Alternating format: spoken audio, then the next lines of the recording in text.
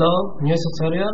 I am going to show you how to install Android emulator in Ubuntu 60.04.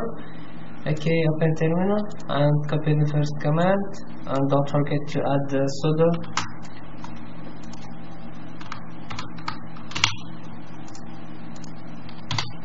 And give your password and click on yes to continue.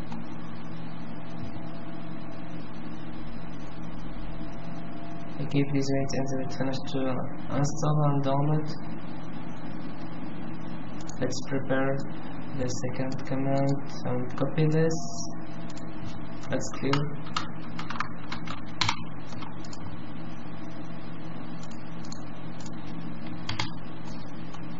And wget to download. Waiting for a response.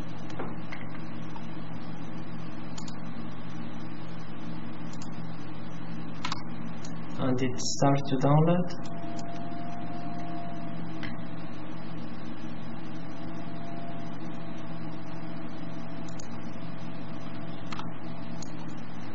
Okay now let's ex extract copy the this command.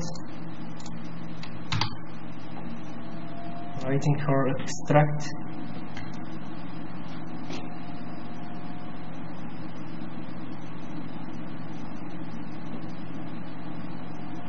and now go inside Android SDK Linux tool tools.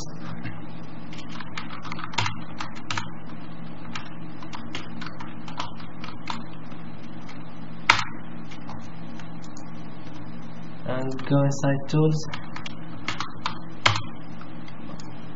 Okay now click on uh, forward slash Android to execute. Execute and this Android SDK manager. Okay this is status uh, not installed there is update on 24.4.1 you can select what you want and click on install package. You can also delete package. And there is extra. And for example let's uh, choose this and click on install package. After that you must accept the license and click on install